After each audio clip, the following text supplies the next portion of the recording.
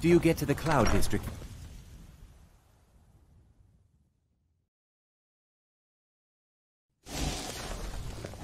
Look, Papa. Oh, I made a new friend. years, But I earned my way to the top.